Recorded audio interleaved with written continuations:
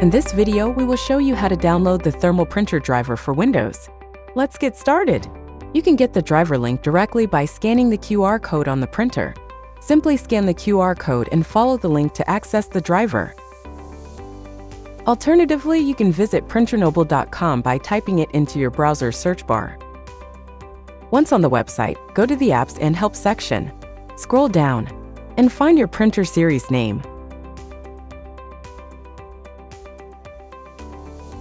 Click Read More, and you'll find everything you need, including the Windows driver, Mac driver, mobile app, and user manual. Now let's download the Windows driver. Click the Download button. Wait for the download to complete. And then locate the driver in your Downloads folder. Double-click the downloaded file to start the installation.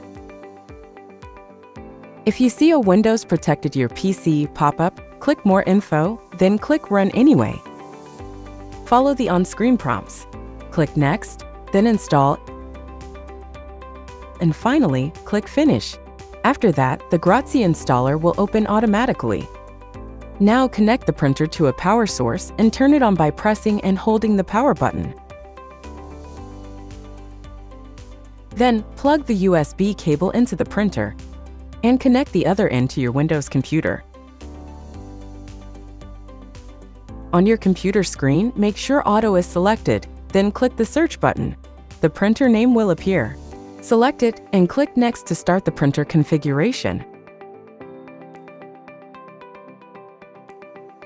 If you see a Windows security pop-up asking, would you like to install this device software, click Install.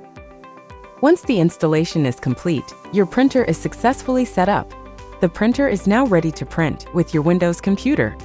Now let's print a document. Now insert roll paper or folded paper into the printer and close the printer lid. The printer will automatically feed the paper to adjust it to the proper position. Once you've done that, your printer is ready to print. Open the document with Google Chrome and click on the print icon. Then select the printer name. You can also adjust the printing settings here. Once you're ready, click Print to print the document. The printer will print your document smoothly